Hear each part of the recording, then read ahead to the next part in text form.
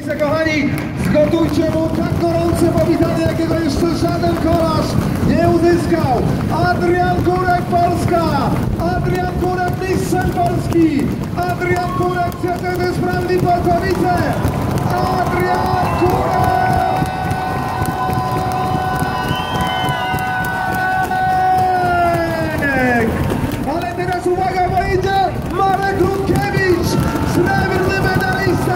Marek Rutkiewicz! Emanuel Pieskowy! A zatem medale rozdane. Marek Rutkiewicz, Wibatek 7R Fuji i Team Huron, Emanuel Piaskowy.